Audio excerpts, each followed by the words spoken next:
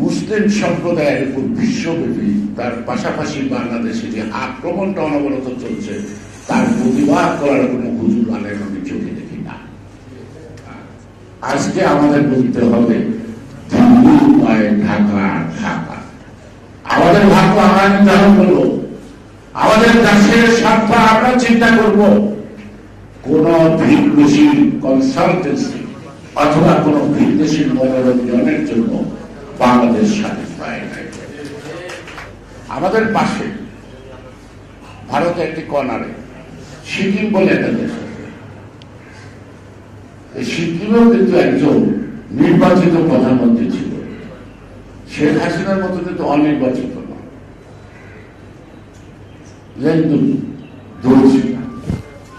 তিনি কিন্তু পার্লামেন্টে কিন্তু পাশ করেছিলেন ভারতের সাথে যাওয়ার বিদেশে আমাদের বন্ধু আছে প্রভু। এই শব্দের মধ্য দিয়ে চলতে হবে। আমরা কারোর সাথে স্বামী স্ত্রীর সম্পর্ক বলতে পারব না। আর স্বামী স্ত্রীর সম্পর্ক আর বন্ধুত্ব কিন্তু এক কথা না। আজকে রাষ্ট্রের এবং সরকারের যত প্রশাসন আছে, তাদেরকে এই সরকার নিজেরও কোন দেশে আমি যাব, কোন দেশে যাব না, সেটা আমার সিদ্ধান্ত।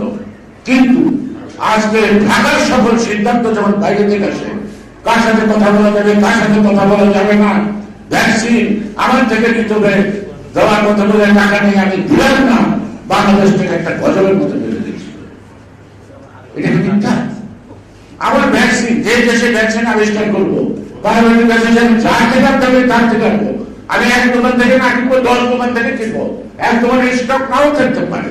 বাসের বাড়ির দোকানে দৈনন্দিন সংসারের বাজার করা যায়। কত বিয়ের সাথে বড় অনুষ্ঠান হলো, তখন কি বড় বড় দোকানে যেতে হয়? সুতরাং যারা নিজেদের দেশে ভ্যাকসিন পরিপূর্ণ করতে সক্ষম না, তাদের কাছে আমরা মুস্তাকা দিয়ে কেন অগ্রিম টাকা দিলাম? কেন আমাদের ভ্যাকসিন পেতে দেরি হলো? এর একটি কারণ আমাদের।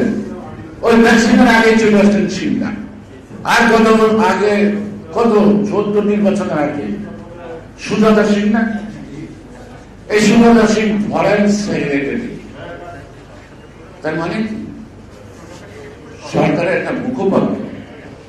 তিনি আয়েশাকে বলেন আপনি যদি নির্বাচনে না যান, তাহলে তো জামাত বিএনপি ক্ষমতায় আসবে। দেশন বলছিল রাস্তাতে দেন একটা পাগল হয়ে নির্বাচন যেতে চায় না। আমি যাব। কেন এটা কিন্তু বল আসছে। ওনারা ঘরকালি করতে আসবে, কে নির্বাচনে, কে যাবে না। সুজাতা সিং কে বাংলাদেশের সুজাতা সিং তো বিএনপির নেত্রী খালেদা জিয়ার কাছে আসলো না। যে গণতন্ত্রের হার জিত যাই থাকুক, গণতন্ত্রের পথে থাকাটাই বোধ হয় যুক্তিসঙ্গত বলে মনে করি এই শব্দটা তো বলতে আসতো না। এই যে মাঝে মাঝে ভারত থেকে আসে ওই রসনের সাথে কথা কয়, হাসিনার সাথে কয়, ইনুর সাথে কথা কয়। বাংলাদেশের যে দলটি পাঁচবার ক্ষমতায় ছিল, বাংলাদেশের সবচেয়ে জনপ্রিয় দল, এই মুহূর্তে ভোট প্রমাণ হবে। বাংলাদেশের বর্তমানে সিংহভাগ জনগোষ্ঠীর সমর্থন খালেদা জিয়ার নেতৃত্বের সেই দলকে আমরা মাত্রাই দেন না। সেই দলকে আমরা কংগ্রেসের সেই নেন না। আর একটা বিশ্বের বৃহত্তম গণতান্ত্রিক দেশ হিসেবে ভারত উল্লেখিত না। সেই ভারত পাশে থাকে আমার দেশের গণতন্ত্র চিন্তাই করে যায়। এই যে নীতি আমি আমার দেশে গণতন্ত্র রাখব, অন্যকে গণতন্ত্র দেব না। গণতন্ত্রের জন্য সব বাধা সৃষ্টি করবে। এবং তারা ভাগ্য করবে। আর আওয়ামী লীগের জন্য নিষেধ পাবো ওইগুলো তারা ডিসাইড করে। আওয়ামী লীগের যে মন্ত্রী এইগুলো তারা ডিসাইড করে। পুলিশের আইনি কে হবে এটাও ডিসাইড করে। অর্থাৎ, ও তার কি পোস্ট চুজ করে তারা আর হাসিন আমাদের কাছে ভাব দেখায় কারণে ক্ষমতা। কোন ক্ষমতা নেই। ওই যে বোঝানো উজাড় করে দিয়েছি। অনেক কিছু দিচ্ছি হ্যাঁ প্রধানমন্ত্রী সব কিছু দিল। মানুষকে তুষ্ট করা যায় না। ভারতকে আপনি তুষ্ট করতে পারবেন না, সব দিল। কারণ অতিরিক্ত আকাঙ্ক্ষা পূর্ণ করা কারও পক্ষে সম্ভব হয় না। সেই জন্য বলছি, দেওয়া দেওয়াদেই বন্ধ করে। এখন জনগণের দেন। কি দিবেন? এই যে বারো বছর গণতন্ত্র ভ্যানিটি গেলে রাখছেন যেটা খুলে দেন, যে করতে আমি সেটা অর্থাৎ নির্বাচন আমি আর আসব তবে আমি সরকারে থাকব না। এইটা একটু বুক টান করে বলেন। তাতে কিছু ইতিবাচক প্রশংসা পাবেন, ভোটে পাশ করেন বা না করেন। আর ওই ইতিবাচক প্রশংসাটাই হবে আগামী দিন আপনাকে এই বাংলাদেশের নিরাপদে রাজনীতি করার ক্ষেত্র।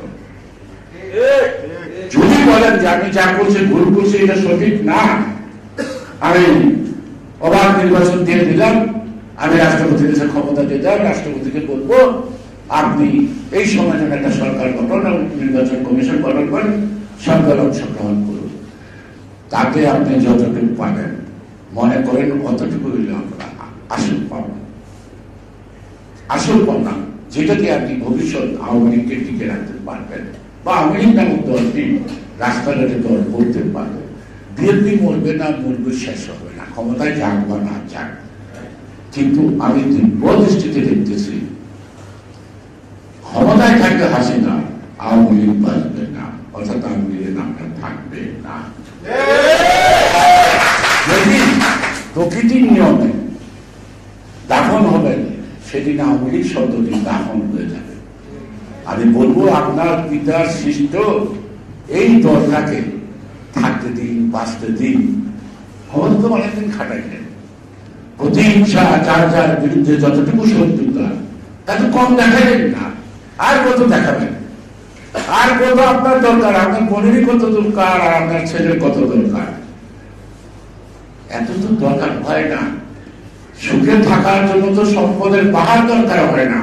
সুখে থাকার জন্য একটি মনস্তাত্ত্বিক শান্তির দরকার।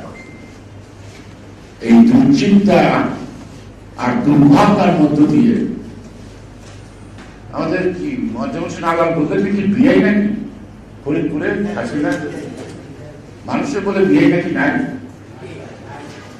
আচ্ছা যা বিয়ে থাকবে না থাকবে জনগণের সম্পদ তো বিয়ের নাম দিয়ে নিঃশ্বাস হয়েছে সুতরাং এই বিয়েকে কম দিলেন না।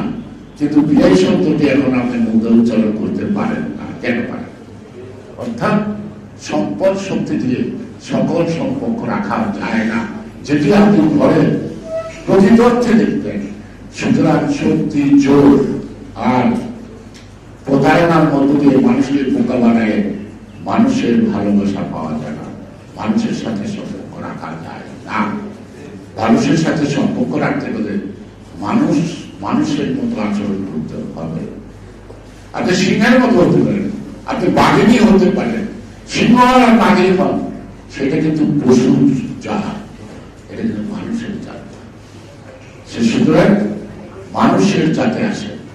মানুষের মতো যেন বলে আপনি, মানুষের মতো মানুষ। আপনাকে যদি কেউ বলে বাঘিনী আপনি তো বলতে সিংহ পুরকিত হতে পারেন। আপনাকে যে বনের পশুর সাথে তুলনা করা হলো, এটা যদি আপনি উপলব্ধি করতে না পারেন, তাহলে আমাদের কোনো কথা বলে কোনো লাভ হবে না। যে কথা বলে আপনি শুনবেন, সেই কাজটি আমাদের করতে হবে। হ্যাঁ এটা আপনাদের দেশে রসিকের ধারণা রাজা হবে খান খান এই পথে আমাদের হাঁটতে হবে এক দফার পথে হাঁটতে হবে মাঝখানে অনেক কথা বলার দরকার নাই এক দফা এক দাবি হাসিনা তুলে